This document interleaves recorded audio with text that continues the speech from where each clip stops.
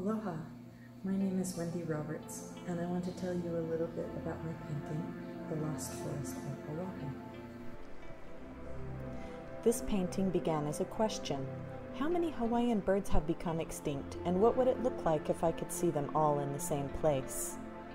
I was inspired by the illustration works of John Gerrard Keulemans, Frederick William Frohawk, and other vintage illustrators as well as taxidermy and many other bird specimens from museums, such as the Bishop Museum and other world museums.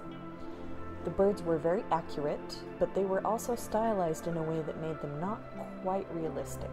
There was room for my style to bring something new into the project. I switched into researcher mode and started looking into the extinction list and searching up illustrations and bird specimens from the archives of museums. I quickly realized that I could not possibly fit all extinct Hawaiian birds into anything less than a massive mural. There were so many types of extinct birds. I wanted to make a painting of reasonable size, so I started setting selection criteria to limit the image to a reasonable number of species.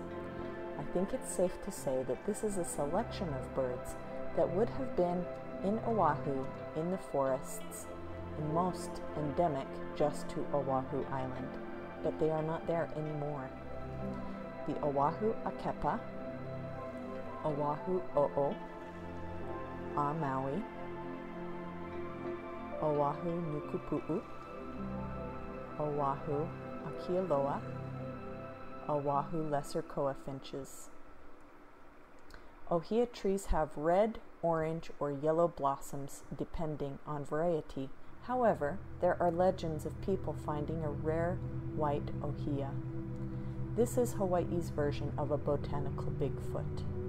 No one can prove it was there, but the stories remain to tantalize us. Thus, if they existed, the sacred blossoms are lost to the mists of time, like the birds which may have once perched on their ghostly branches. Thank you for watching.